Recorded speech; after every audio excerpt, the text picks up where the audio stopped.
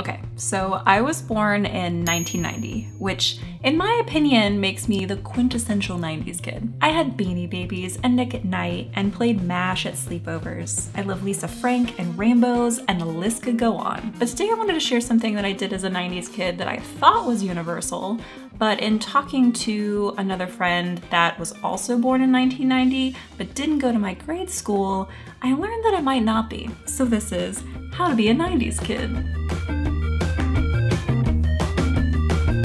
In elementary school, one of the most common types of pencil cases were these Spacemaker cases.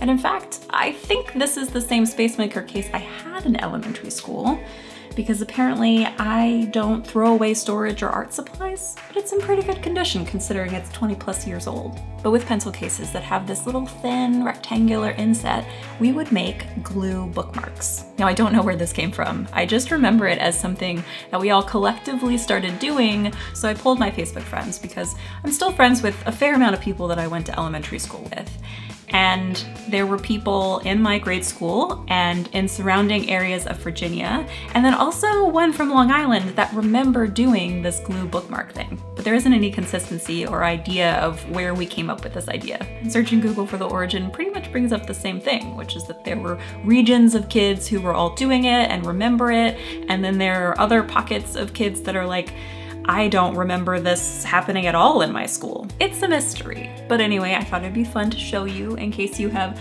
no idea what I'm talking about or this is unlocking some like deep recessed childhood memory and now you can just revel in the nostalgia. Okay, let's do it.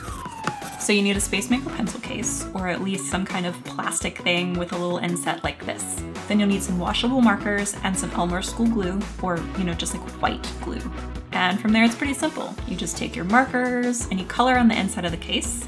And I would usually make a rainbow like this. Then you fill it with glue. But make sure not to go too crazy and overflow it. Plenty of overly enthusiastic kids made a huge mess this way. You can even start to see how the glue is picking up that marker already. Then we'd leave them in our desk over the weekend so it could dry when we wouldn't be using it.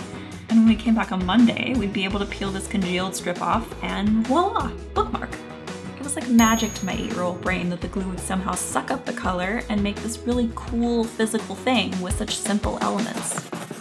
Then again, I was convinced I had magic when I was like eight or nine and ran my hands over my comforter in the dark and there were these little sparks of light. A friend's mom informed me that it was probably static electricity and that my letter from Hogwarts was in fact not in the mail. Still a little bitter about it. But yeah, Super simple, blast from the past craft. So tell me, what other parts of being a 90s kid would you want me to make a video about? I would love to make this into a series because apparently your 30s are all about childhood nostalgia. Plus remember to subscribe and turn on that notification bell if you actually want to see my videos. And you can always follow me over on Instagram for all the rest of my creative content. And I'll see you guys later. Bye. That was a fail. What was that? Ah.